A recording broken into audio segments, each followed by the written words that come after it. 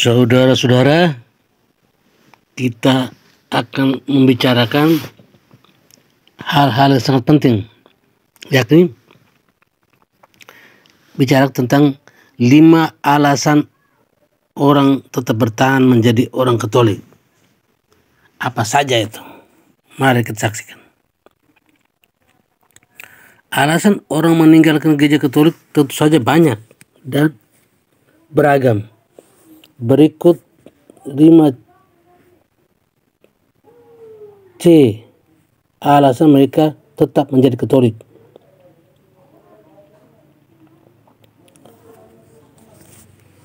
The Pew Research Center tahun 2019 mencatat penurunan kekristenan di Amerika Serikat, terutama di kalangan anak muda. Selama dekade terakhir, jumlah orang yang mengaku dirinya Kristen turun dari 77% menjadi 65%. Agama Katolik mengalami pukulan keras atas penurunan itu. Perbandingannya, ketika satu orang yang masuk menjadi Katolik, 6,5 lainnya murtad. Hanya 20% orang dewasa yang masih mengaku sebagai orang Katolik. Alasan orang meninggalkan gereja Katolik tentu saja banyak dan beragam. Namun ada sejumlah alasan mereka yang tetap bertahan menjadi Katolik. Apa saja alasan tersebut dilansir dari Alitaia berikut lima alasan yang menjadi alasan orang tetap bertahan menjadi Katolik.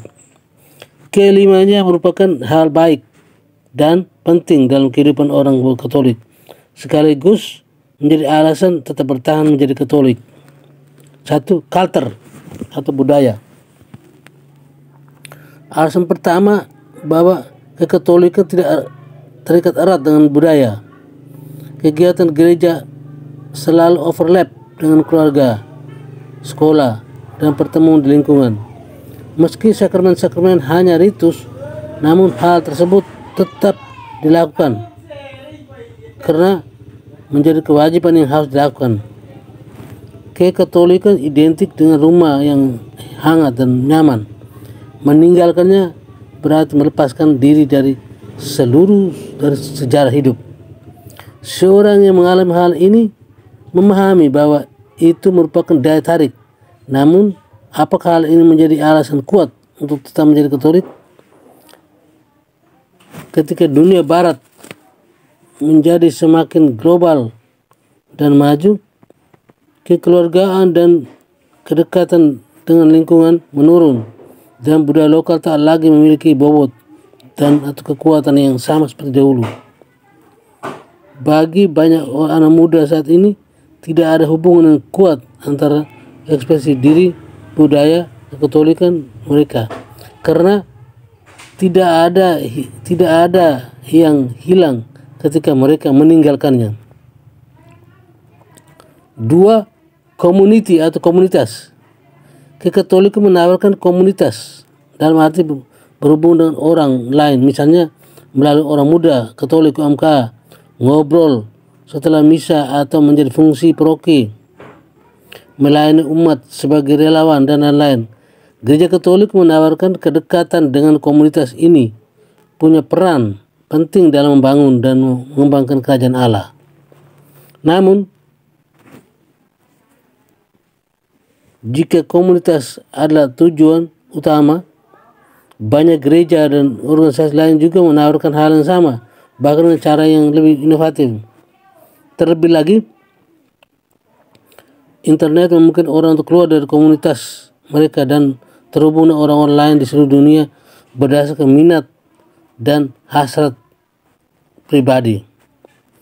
Jika benar-benar Anda cari adalah komunitas, gereja hanya salah satu pilihan di antara banyak pilihan. Tiga, comfort atau kenyamanan. Katolik menawarkan kenyamanan dalam dunia yang tidak pasti. Kehidupan iman yang sering terkait dengan dukungan budaya dan komunitas menawarkan manfaat psikologis yang positif, yakni kenyamanan dalam hal kesejahteraan, pengalaman, kekerapan, dan rasa aman. Tak terhitung orang yang bersandar pada iman mereka selama masa kegelapan dan pencobaan.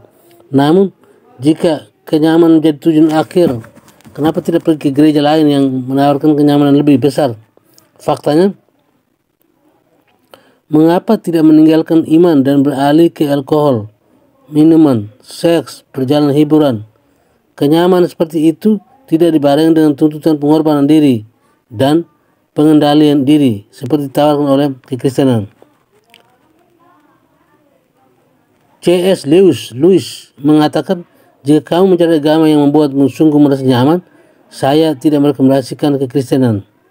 Paus Benedictus 16 juga berujar, dunia menawarkan kenyamanan, namun kamu tidak diciptakan untuk kenyamanan. Kamu diciptakan untuk kebaikan dan atau keagungan. Empat, kondak atau perilaku. Gereja menawarkan panduan yang pasti bagi perilaku Anda dan keluarga, suatu kerangka untuk menyusun hidup Anda. Dunia bisa menjadi tempat membingungkan dan relativisme moral merajalela. Namun paroki dan sekolah sekolah masih menanamkan hal-hal personal, tidak mementingkan diri sendiri, pelayan disiplin. Umat paroki, umat Katolik memegang teguh di magisterium, yakni otoritas pengajar yang hidup, yang menawarkan pandang pedoman yang jelas tentang apa yang benar dan salah. Gereja tidak hanya mempromosikan nilai-nilai tradisional, dia juga menuntut secara tegas, khususnya tentang seks, yang hari-hari ini dianggap sangat berbeda dan sangat sulit. Gereja tidak hanya mengajarkan tentang moral, tetapi memerintahkan umatnya untuk tahan-tahannya mencintainya. Gereja tidak hanya menginginkan kita menjadi warga yang baik, tetapi juga menjadi orang-orang kudus. Lima, Katolisistem atau kekatolikan. Alasan menjadi katolik adalah kekatolikan itu sendiri. Sakramen orang kudus, liturgi, seni, teologi, filsafat, gereja, sejarah, semua keindahan dan, ke, dan ke, kebaikan dalam dan kebenaran menarik masuk, menyegarkan dan mengirim Anda kembali ke dunia untuk menawarkan kabar baik. Bahkan di tengah-tengah apa yang tidak ragukan lagi merupakan masa kelam bagi gereja. gereja. Dan di pusat kekatolikan ada alasan lain yang yaitu Christ atau Kristus. Kemuliaan gereja bukan terletak pada umatnya yang lemah dan mudah jatuh. Uh,